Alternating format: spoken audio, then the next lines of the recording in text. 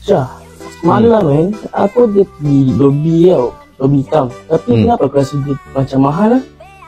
Mahal? Ha, mahal. Mahal berapa? Dalam 20 sen macam tu. Lebih 20 sen? Ha, lebih 20 sen tu.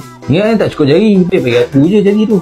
Eh, malah tu. Tapi aku pelik ah. Dia macam, sebelum ni aku pergi lobby, dia adik, dia tak ada certification, tak ada lesen. Dia tak macam lobby yang aku pergi ni.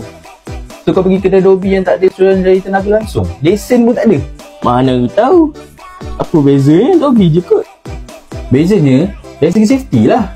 Okay, kalau kau nak tahu, semua premis yang gunakan gas, iaitu melalui sistem perpaipan gas, perlu mem, uh, ada kelulusan keseluruhan jaya tenaga. Ah itu kau perlu tahu. Takkan kau nak guna Dobi yang tak selamat? Kau nak guna Dobi yang selamat tapi mahal atau guna Dobi yang murah tapi tak selamat? Mestilah aku nak selamat. Tak kisahlah bayar berapa dan kita selamat dan ada kelulusan. Korang sebagai pengguna atau owner Dobi tahu tak benda ni? So kalau nak tahu lagi, jom follow kami sekarang.